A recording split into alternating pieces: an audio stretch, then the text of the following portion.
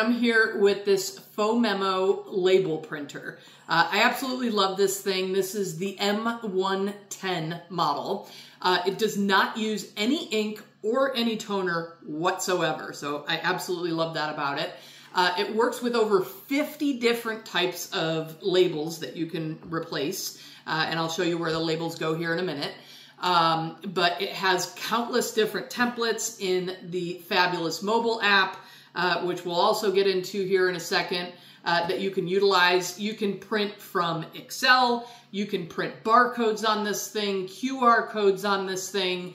Um, I printed a return address label earlier uh, to slap on an envelope that I need to mail out. Uh, you can use it for stuff like labeling children's supplies, document storage, product labeling, clothing storage. It has over 150 different fonts, over 1,600 different patterns that you can choose from, uh, and 270 borders. Now let me just show you on my phone here. I'm going to just make a, a generic thing here um, and say test label. Okay. Um, now, I can move that around in different areas of the label. So if I want to print it in the upper left-hand corner, um, and I can put something down here, we'll just say ABC, one, two, three, and hit OK.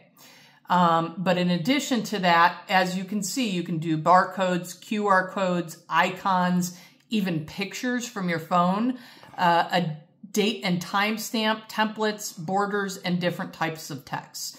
But let's just keep it simple. All right, so we're just going to hit print now, and out it comes. So, here it is.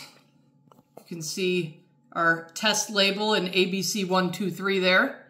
Um, but when it comes time to replace the label roll, here it is. Um, and it actually comes with this roll, um, but it's very, very easy. You just plop her right in.